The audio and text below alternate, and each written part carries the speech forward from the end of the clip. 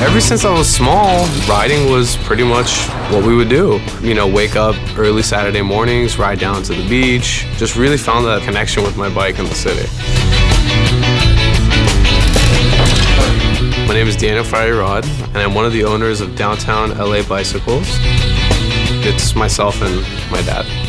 He brings the old school know-abouts to the table, and then I bring like that new school 21st century touch to it. So it's, it's a great complement to each other. I don't know what I would do without it. My grandfather was in business back in Iran. My dad was in manufacturing for 25 plus years, and we're just really into cars and bikes and motorcycles, just, just you know, two and four wheels.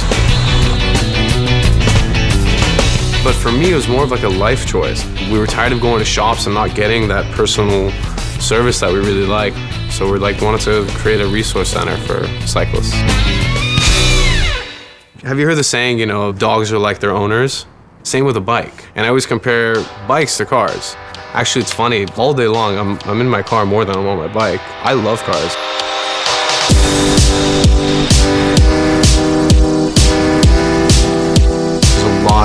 Miles to cover, and with my bike in the back of the car. It just simplifies everything when they're both together. Our store is not just a store, it's more of a resource hub for cyclists to come and get educated on, I like to call it the art of cycling.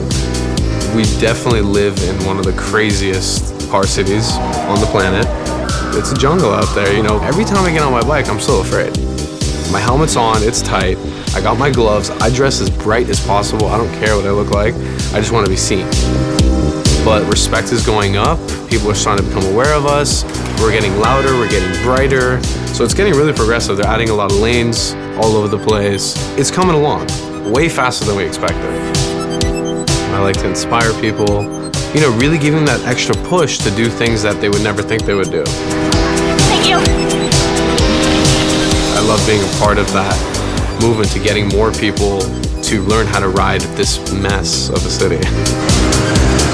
My dream is to really share that passion and get more people in a healthier lifestyle and make a change